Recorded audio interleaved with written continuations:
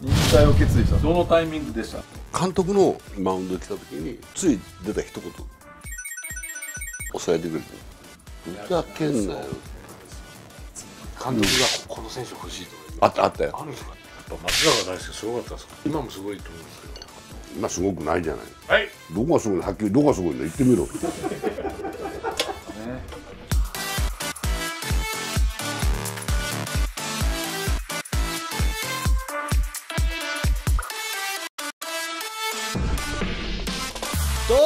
ームの星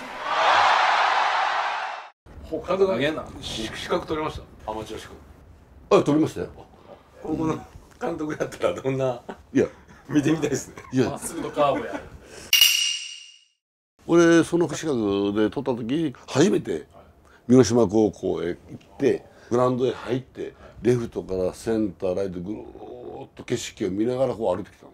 俺ライト側にみかん畑があったりとかさ。いやそう今じゃねビ今じゃルディングビルディングが。立ってへんわいまだにみかん畑ばっかりじゃん。全然変わってないっすよだから今度一回マウンドで立ってやろうかと思ってるおいやたまたま今広島高校の監督は尾藤さんの息子がやってるわけよ。そね。それはいつも何も文句言えんだろうし。それは冗談だけどやっぱりそういうの寂しいから高校でも行って気楽に入れるっていうのをやりたかった投球術を教えてやってほしいですよねアマチュアの。いや術は教えない俺は。ちゃんとピッチャーでもエテフェードのとこあるからいい方を伸ばしてやってるとかそれはやっぱりちゃんと見るよ。長所を伸ばす指導ですか？いやもちろんそうですよ。ピッチャーでマイナスをカバーするのは長所の方でしょ。それ高校生じゃ無理よ。でプロ入ってもできないやつはできないんだから。だからそういうできないやつはリスクをよ。お前普通にやったら打たれるんだから。それはマー君だとかね。大谷みたいな王道を歩けるやつは少ないよ。道の真ん中歩けやつは。俺は速度の方へリスクを負って自分の肩とか肘に負担くるよ。今の中継ぎとかいろんなポジションがあるからそこで当てはめて。そういうのをやっぱり探してない。だから高校生ではちょっとまだ難しいから。お前見つけ損なったよ。そうですね。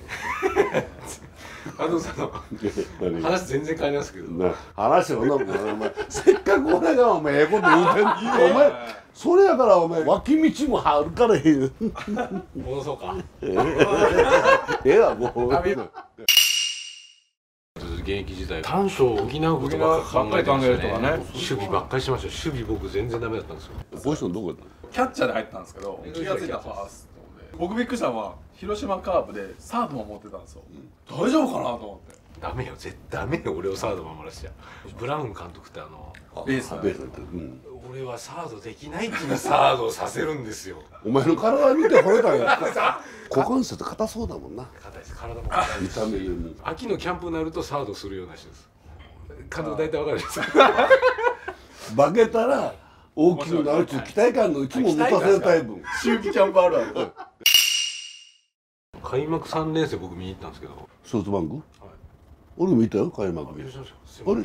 お前全然。もう挨拶ないな。お前縦社会になってきてだってオーラがもグラウンド置いてなかったけど。置いてなかったういやあの山川の雰囲気ありましたね。満塁あれあの試合放送しててはい。大笑いしたのね。例えば冗談で4点差で負けてたよね、あこうなってこうなってこうなったら面白いよなってこうなったから。あ 漫画みたいな感じでしたね。そう。4-0で8回の表に梶谷。工藤がさあの家事は去年から期待感なのか可愛いのか好きなのか、日本シリーズの時からものすごく引っ張りすぎたのよ。よく我慢できるなって。そっちの方に感じるわけよ、なんでピッチャー出身の監督がそんなボールが良くないし、山川来てんのに、じーっと我慢してるなと思う。もうもう俺らって頭きてもう答えそこから梶谷です。でカポンだもん。であ笑いで。ドラフト1位の回に豊田出身の。あれはいいね。よかった。一番いいですかやっぱり。彼はストッパーやね。まあ今沢田がああいう状態やから彼もうすぐチャンスなんだよ。たまたまその開幕戦で梶谷が打たれてで甲斐の。い。延長戦よ確か急遽同点でいきなりその山川やったのよ。あの時偉かったのは甲斐。で新人ピッチャー初登板開幕戦だから。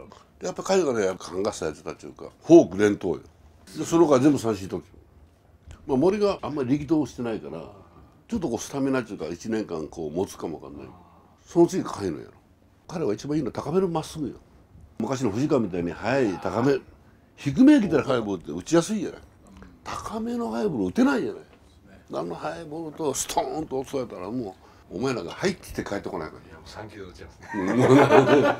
ら 楽天が今日1位になりましたよね昨日、ソフトバンクずば抜けてもいくと思った。いや喜んでるで石井ピンがほら GM になったじゃない。則本と岸がほら故障してるよね。大野が機嫌のいいうちにフロントにお願いして早く次のピッチャー用意しておきましょうって言ったらさ多分編成が動いてるよ外国の。やっぱ球団のフロントはそうよ。やっぱそういういい出だししたら補強もしてくれるし。え監督時代もそうですか？結局最終決断するのは監督じゃない？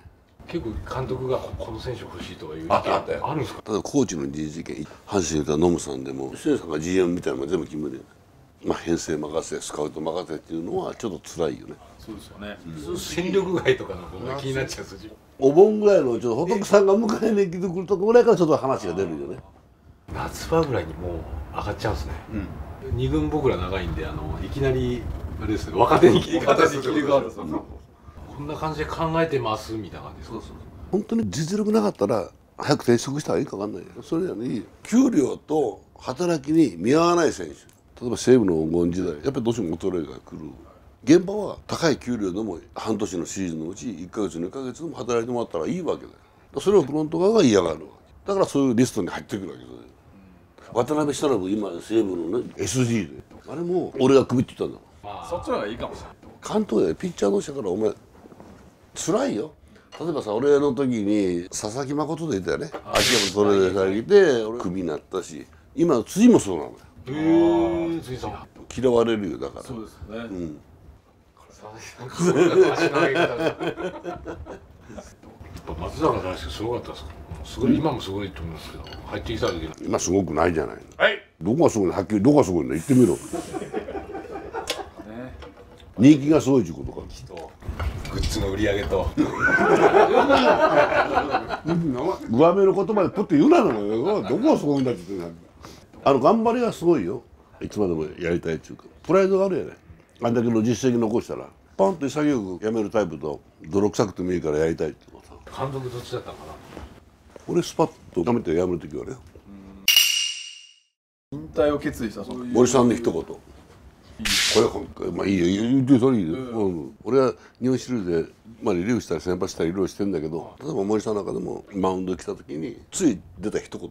まあこの一人を抑えてくれてる。俺ワンポイントか。今までね。ふざけんなよでその当時はっきり言ったら自分ももう満腹してるわけ西武になって給料もたくさんもらえるようになったし。最後の方はチームのためにっていう気持ちのが多かったですよね、そうそうそう。もうね200勝した時から工藤公康渡辺久信とか一緒にこちらを出しにしてお前らに若造に負けるかというこう突っかけてこう、まあ、お互いこう言い合いなんかしながらこうやっててそれでもう良かったんだから YouTube でさっき見た。工藤さんとあの防御率争いめっちゃ面白かった完封完封完封完封だそれはあいつらが俺に勝とう。俺もお前らが負けるかっていうそういうあれがものすごいだからあいつ俺より13下やから2 5 6かいい刺激あった。んだからいい先輩とそうだね後輩と掛け合いが。お互いのもう性格知ってるから君安も俺に突っかかってくるし、あれお前らこの野郎とかそういうそれでもうでバリバリやってるんだもん。最終投の前に。お願いですから先輩一点取られてください。いやでもいい環境やねそれ。そう俺はだから38歳で現役終わったけどあんまり背も大きくない体力ないスピードもないから何かしら使わない感じだよね。使えるもんは全部使えっていうような感じでさ。もっとね話聞きたいですけどね。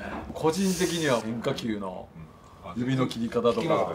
そういえば。そういうのをもっとね聞きたかったんですよ。こっから先はちょっとギャラかかる。よ結論とかね本当に聞きたかったんですけどやっぱこれらしいんで、はい、でこれで終わりますさよならえおいいいの